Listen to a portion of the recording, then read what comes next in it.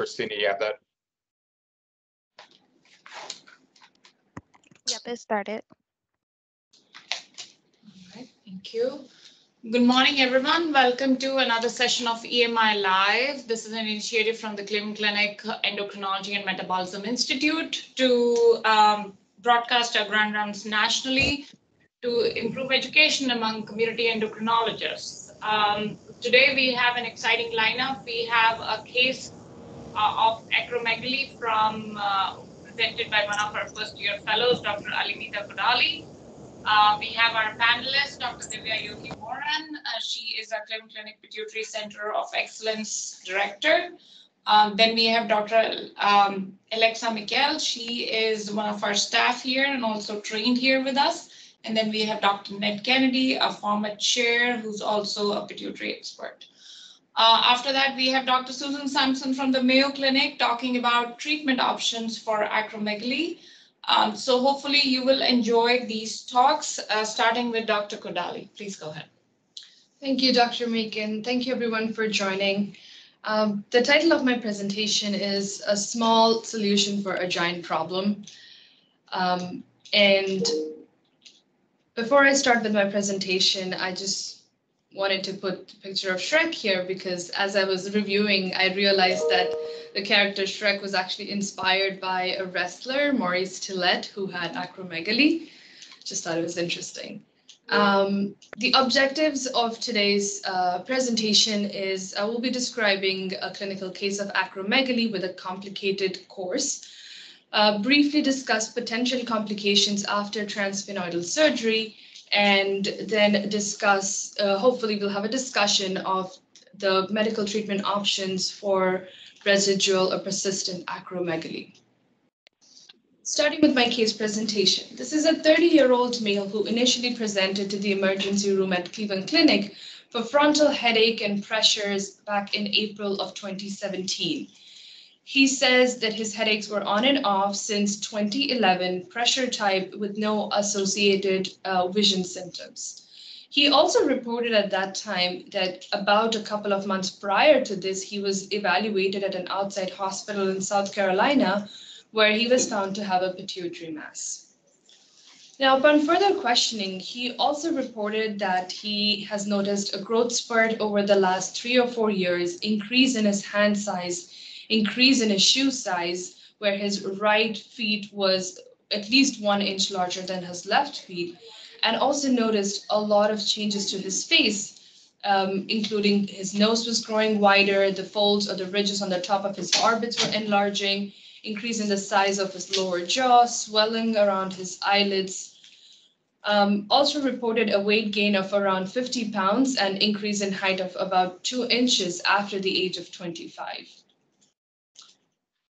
Moving on, uh, in the ED, he was he basically given his history of pituitary mass. Uh, he had a CT head and MRI that confirmed the findings of what he already knew. There was no acute bleed or any acute um, potential cause that needed to be treated uh, right away. So he was managed conservatively for headache and discharged uh, with endocrinology, neurology, and ophthalmology uh, follow-up.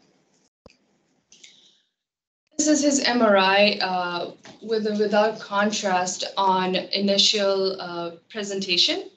Uh, as you can see here, there is a sellar mass uh, that was consistent with the findings that we knew uh, with pituitary macroadenoma uh, invading the right cavernous sinus.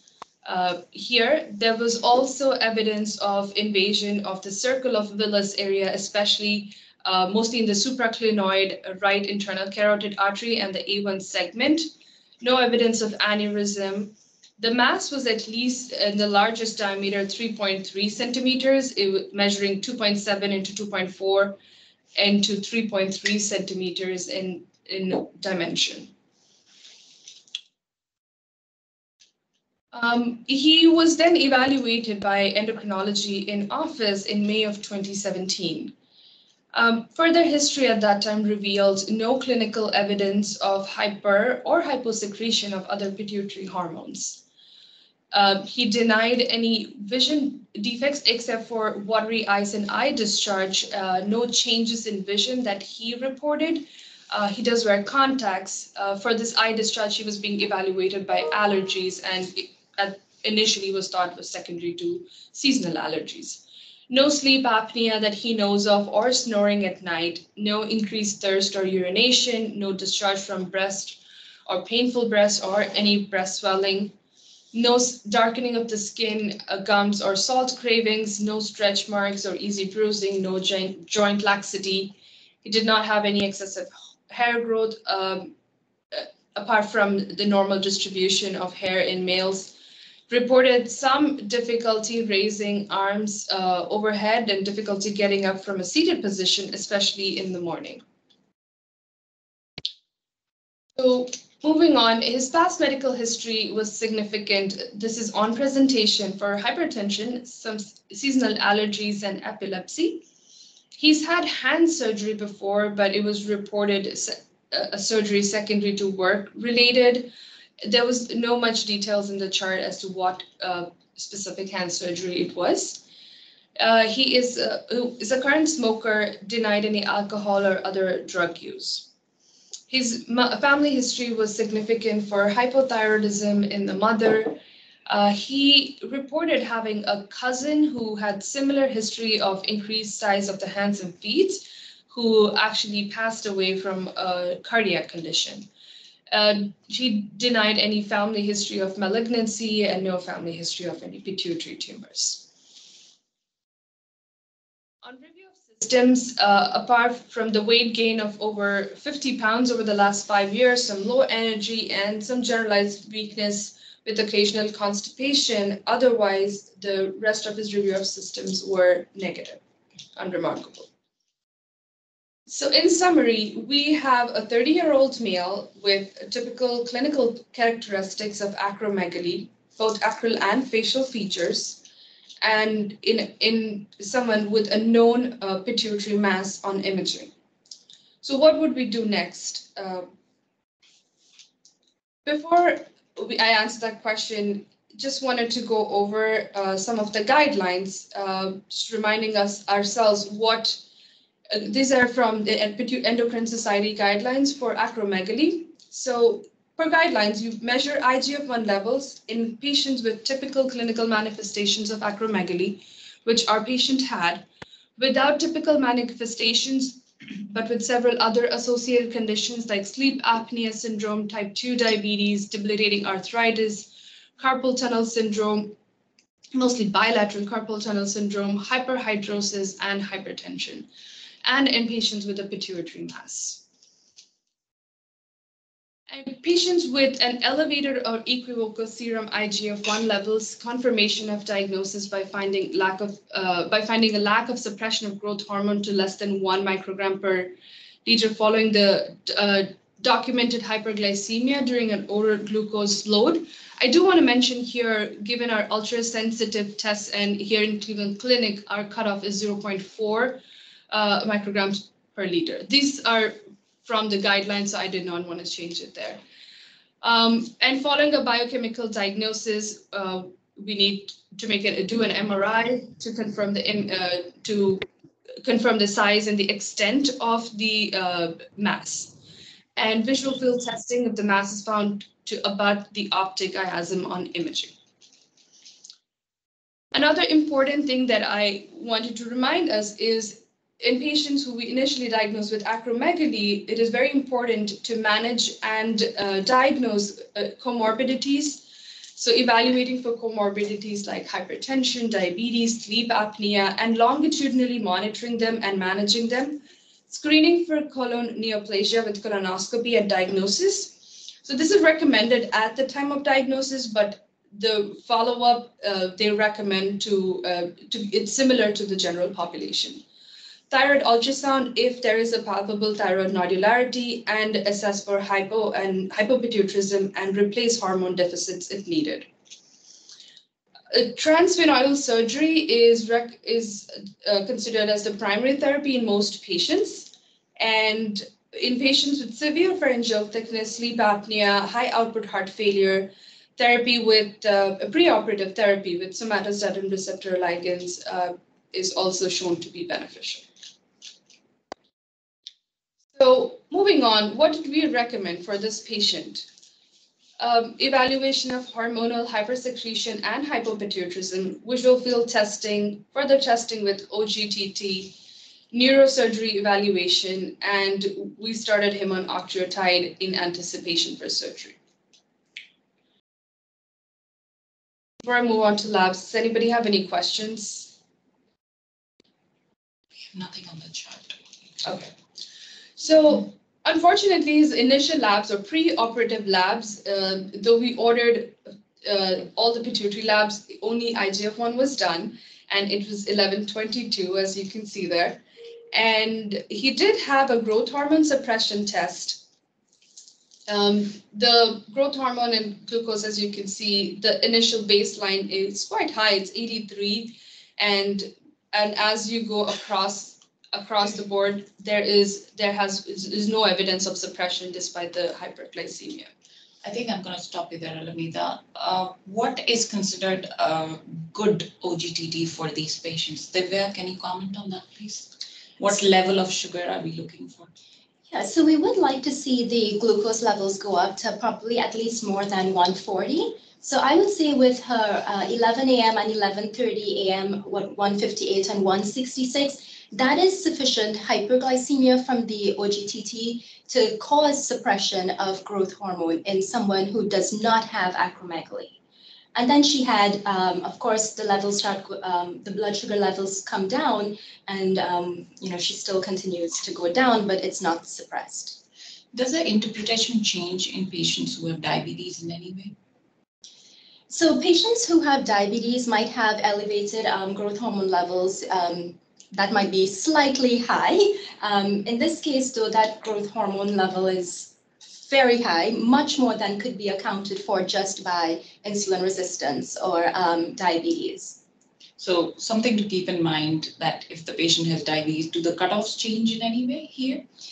I don't think we do, but we just kind of use our clinical judgment to assess how we interpret um, the IG, uh, OGTT test. Thank you.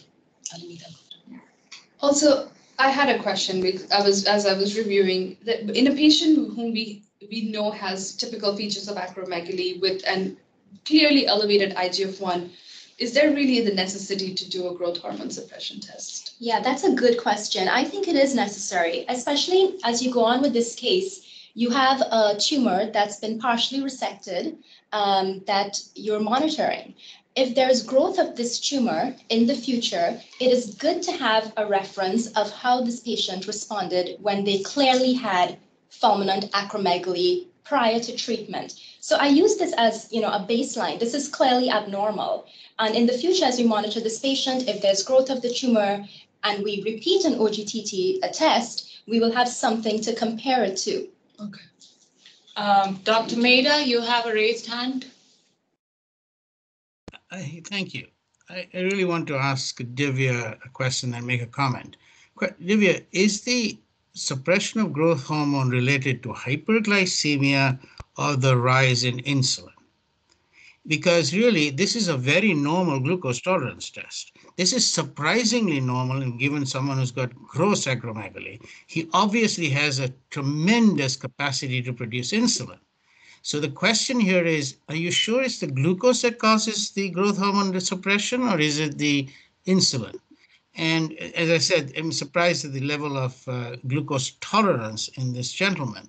This is really a fantastic uh, uh, beta cell capacity. So, you know, I'm not, I'm not certain. I think it might be, um, in this case, probably a rise in the insulin um, as well as the glucose. But you're correct because at the two, three hour marks, she start, starts to bring her, sorry, he starts to bring his blood sugars um, back to normal. So perhaps it's the uh, insulin levels going up, which I don't think were measured in this case. Um, Dr. Kennedy, do you have any comments med- on the glucose level or insulin level um, causing the glucose, sorry, growth hormone suppression?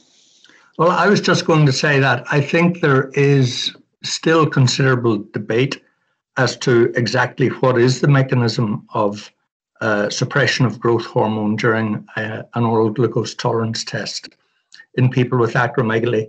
I don't think there is a consensus view uh, on this, uh, and perhaps uh, Sue Sampson uh, may be able to weigh in on this as well. But I, I still think it's a matter of debate as to the exact mechanism. Dr. Sampson, we are so glad that you could join us for the case. Would you like to comment on this? Sure. Um, I agree with Dr. Kennedy that it is a, a, matter of debate. I guess I always think of um, growth hormone as a counter regulatory hormone. So, as those glucose levels go up, the suppression should go down. I think the debate also extends into when we do growth hormone stimulation with glucagon. Uh, what is the mechanism there? So I agree that um, we're not completely sure, but certainly expect full suppression in these patients with, with the glucose if they don't have acromegaly. All right. Uh, we have another question from the chat. Dr. Pantaloon is asking that if someone does not have diabetes despite acromegaly, may not have a blood sugar um, event greater than 131 hour post meal. Um, he says, I wasn't aware that the blood glucose had to be above a certain level for the OGTT to be diagnostic. So then the next question is, what do we do if the blood glucose does not reach that level despite um, obvious features of acromegaly? Any comments on that? Yeah, so I'm not sure if this will completely answer that. There isn't really a cut-off value where the blood sugar has to reach a certain level. Um, so Kevin is right that in someone who does not have um, hyperglycemia or diabetes, we might not actually get hyperglycemia. Um, but you can still look at the trend at the one hour point, at the two hour point, you will at least expect the blood sugars to go up, even in someone who's normal. And then you can look and see what your trend in um, the growth hormone is. So, no, there isn't a specific cutoff for what blood sugar level should be reached. You can look at the trend in someone who does not have diabetes. So I think what we are realizing is because these are all dynamic tests, clinical judgment is playing a big role here in the interpretation, especially if the patient has comorbidities that might or might not affect the interpretation. Uh, go ahead, Alan. All right, so moving on with what happened with the patient. Uh, after a few weeks of receiving octreotide, he finally had surgery in September of 2017. Um, it was they, it was a subtotal resection with only parts of the intra, uh, intracavernous and supracavernous portion largely debulked. Uh, central portion was able, they were able to remove it completely and they were able to decompress the right optic nerve. Pituitary gland and infundibulum were preserved. On pathology, focal uh, positive staining with antibody to growth hormone was noted and the tumor did not stain for any other pituitary hormone antibodies a densely granulated pattern of immunoreactivity was observed and a Ki67 lethal index of approximately 2 to 3% was noted.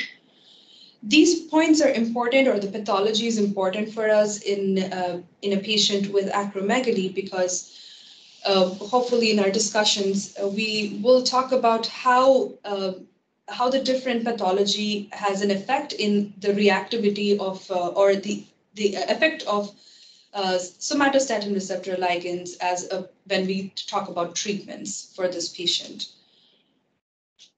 Moving on, um, in the post uh, immediate post-op period, uh, these were his labs. You can see clearly that compared to the 83 something level preoperatively at the time of his growth uh, growth hormone suppression test, uh, his growth hormone level did come down significantly to 12.33 and eventually was coming down further. The IGF-1 is still elevated. It does take um, longer time to, to uh, reduce or normalize. That's why her recommendations, we wait at least up to six weeks after post-operatively to check an IGF-1 level. And it, this is where he, at this point, he did have the remaining pituitary labs ordered. Um, unfortunately, the patient did end up having a prolonged hospital course, almost three months, had multiple complications that I will quickly go over. Um, in, in the immediate intra-op uh, phase or during the surgery, he ended up having injury to his internal carotid that was controlled with cauterization.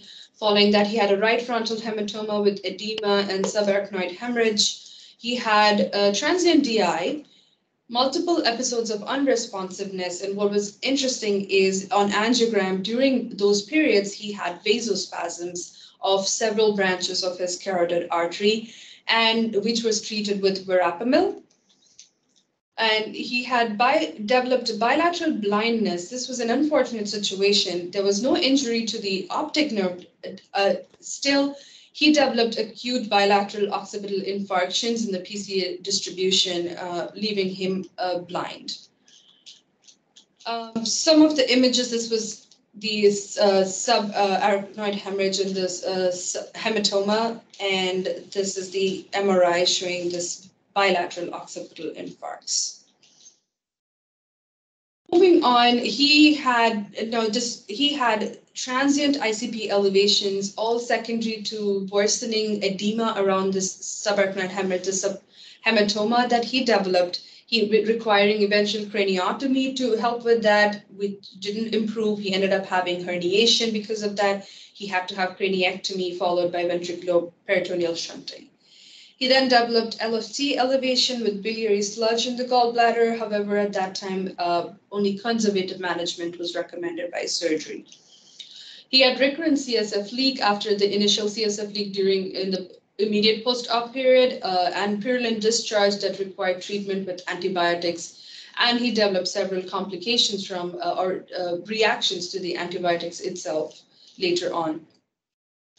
He also developed tachycardia, bilateral upper extremity tremors, and spasticity concerning for dysautonomia.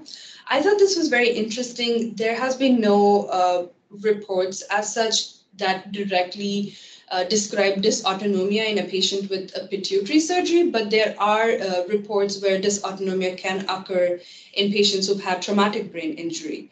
So my uh, thought was, given the multiple things that happened to him in the course of this hospitalization, it's possibly causing the dysautonomia because of the hypothalamic dysfunction was my thought process. I don't know if anybody has any other um, experience or thoughts about that?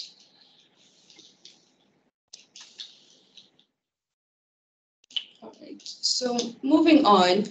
Uh, briefly, what I wanted to, th that was the end of my case. I will talk about what treatment um, we, we went on after this slide. So moving on, is there really an algorithm for acromegaly? Per Endocrine Society guidelines, management of acromegaly um, transsphenoidal surgery is the first, is, is what's recommended in most patients, unless if the tumor is unresectable or and there's and there is no chiasmal co uh, compression. In those situations, uh, medications can be used as the first uh, line. Now, in transsphenoidal surgery, either you achieve remission uh, or there could be persistent disease after. Now, several factors um, so moving on, the medications that we can use or th that are used in acromegaly, I thought this was a very nice slide just to go over where, uh, what medications are used. As you can see, the GHRH and somatostatin is what uh, the driving factors. The GHRH um, is a positive feedback, somatostatin a negative feedback to production of growth hormone from the pituitary gland. The treatments that are targeting specifically the pituitary gland are surgery, radiotherapy, dopamine agonists, and somatostatin analogs. And then we have the next group where the growth hormone receptor antagonist that's targeting more the peripheral tissues and thereby causing a decrease in IGF-1 and, uh, and, and then a decrease in all the metabolic effects of the IGF-1 production. Now, when we talk about the dopamine agonist somatostatin analogs, the medications that are available are cabergoline, octreotide, lanreotide, and pasireotide. Um, the octreotide includes both this uh, parenteral form and the more recent uh, oral form as well. Growth hormone antagonists, here we have the pegvisomant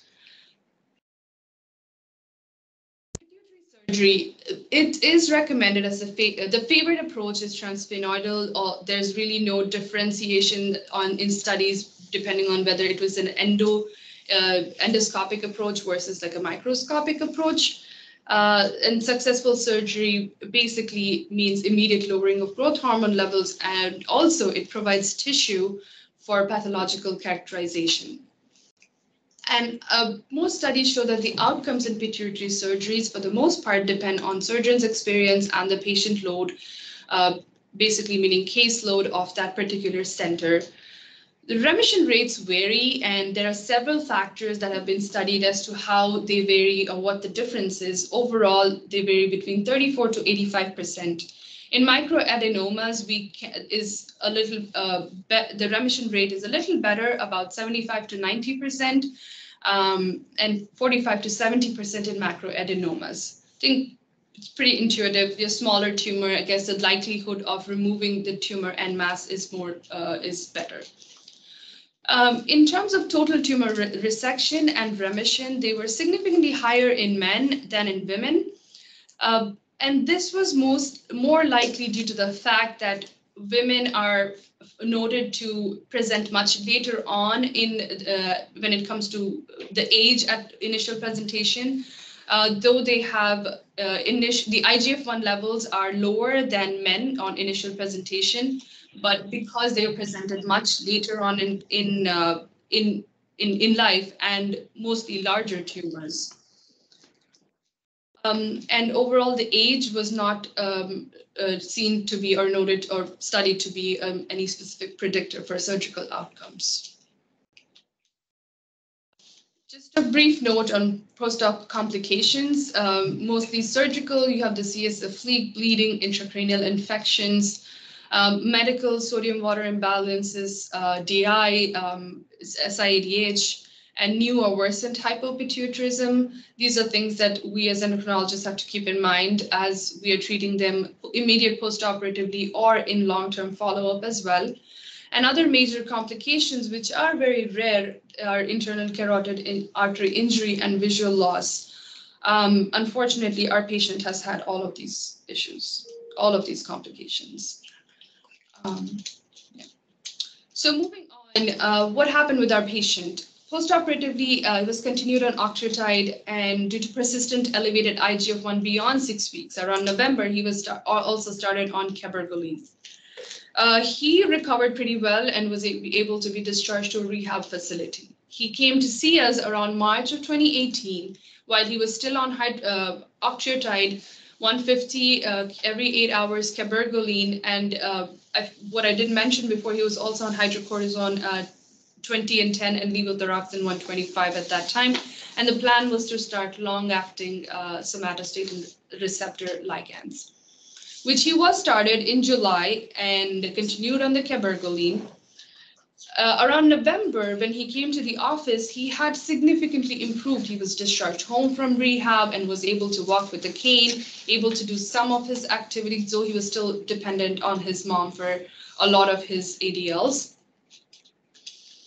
Um, on follow-up labs, um, after he was on, on this medication, uh, you can see that the IGF-1 did reduce compared to the previous numbers that were in the in the still in the 900s although still elevated from 700 to 639. And next subsequent visit, he was reduced, uh, his levothyroxine dose was adjusted. He, the lanreotide was increased to 120 every four weeks with subsequent plan to add pegvisomant if needed. And he was started on testosterone IM injections. Unfortunately, he developed another complication around May 2019 while he was on the higher dose of lanreotide, was admitted for abdominal pain with concern for cholecystitis. In July 2019, the lanreotide was stopped because of gallstones and he was started on pegvisomant at 10 milligrams. Uh, and in August of 2019, uh, he had a laparoscopic cholecystectomy. So following that, um, following the starting of pegvisomant, the, the, his insulin uh, uh, IGF-1 reduced from 639 to 525. In December, uh, the pegvisomant was increased. We were still on the cabergoline, and these are his labs on these medications. So as you can see, subsequent uh, IGF-1, it did reduce to 374, 196, and the most recent lab that we have is 244. Um, that's the end of my presentation. All right, so we have a long case. I have I have to give credit to all the pituitary experts on our panel who have probably seen the case at one time or another because this is a difficult, long um, management. So starting with Dr. Yogi Morren, uh, what else can we offer this patient and what would you do about the cholecystitis issue that has come up? Okay, so we have a couple cases. So his um, IGF level, most recent, was 244 nanograms per mil, so just two above the range of normal. Um, so he's already on PEG 20. So one option is to go ahead and escalate that dose. Um, in the clinical trials, increasing doses from 10, 15 to 20 resulted in dose-dependent reductions in IGF. Um, escalating to 40 um, normalized IGF in about 97% of patients. Of course, in a real life setting, its success rate is closer to around 60%.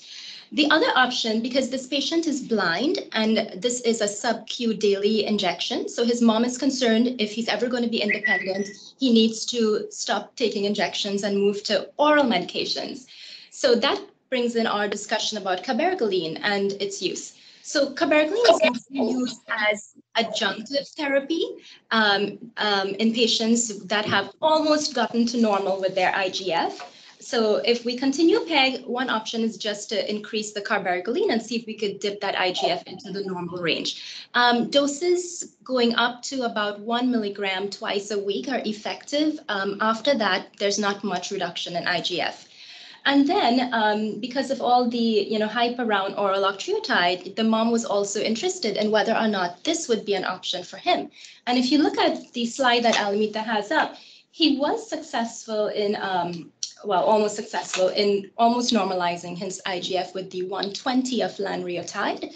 So that might be an indicator that he will respond to oral octreotide, although oral is less effective than injectables. So oral um, octreotide has a response rate, I think around 60%, whereas injectables are about 90%. So he has, he may respond well to octreotide, oral octreotide. And as for the cholecystitis issue, I would say that is no longer an issue since he had cholecystectomy. Um, that's my response to that. Dr. Mikhael, would you like to add something to Dr. Yogi Morren? You know, uh, I think um, Dr. Yogi already explained and gave a lot of different options. The one thing I would say that the benefit of oral octreotide in this case is you basically get the same adverse effects as injectable uh, SR, somatostatin receptor ligands, but without the injection site reactions. And given the fact that he is currently blind, it may be difficult. And I think focusing on his quality of life and our goals of therapy for this patient is very important. You know, or we are looking to, you know, normalize IGF-1 levels. We also want to minimize symptoms of acromegaly, but also we need, need to look at his overall, you know, independent function and what's going to happen in a few years, for example, if there's no one to actually care for him directly. I think that's an excellent point. We as physicians sometimes like to treat numbers and forget to look at the individual as somebody who has a life outside the hospital. So thank you for pointing that out. Uh, Dr. Kennedy, I have a question for you. Do remission rates improve for mac macroadenomas if pre-treated with somatostatin analogs? Uh, the literature on that is uh, very varied. Uh, some centers uh, believe that it is uh, a useful thing. and we do tend to we have tended to do that at Cleveland Clinic, uh, but there is no hard evidence that pre-treatment with somatostatin receptor ligand actually improves the remission rate. Uh, I would add a couple of other comments. Uh, Dr. Yogi Morren mentioned that with uh, pegvisomant, you expect over 90% uh, normalization of IGF-1. That was certainly achieved in the uh, initial studies back in the 1990s. The, the follow up, she said uh, that, of course, uh, in real life it's lower. I think one of the reasons it's lower in real life is that there is a tendency not to escalate the dose. uh, as much as it should. And also, uh, I think uh, real life practice with trying to get pegvisomant approved and delivered on time to the patient uh, plays a role as well. And I, the final thing I would say at this, there is another oral option uh, which wasn't included on the slide, uh, but uh, Marcello Bronstein in Brazil has shown that in patients with modest elevations of IGF-1, certainly in men, uh, that the addition of clomiphene can be helpful. And I've actually used this in one patient with success. Oh, excellent point. I had no idea. Um, we will have to wrap this up. So I'm going to finish with asking Dr. Sampson, what does she think of the case and how would she manage it at her center? Thank you so much. That was a, a really intriguing case. Um, and it was unfortunate to have the patient um, have to deal with the complications, but I think most of us would say for the majority of our patients, both at your center and at ours, they do very well after this surgery. And also, I guess one of the things that was very apparent early in the case was that this patient had had a long history of growth hormone excess. And again, emphasizing the delay in diagnosis in this patients, which I will emphasize in a couple of the cases in my talk as well. All right. Um, thank you so much. We are going to wrap up the case now. Um, Christina, can you please stop the recording?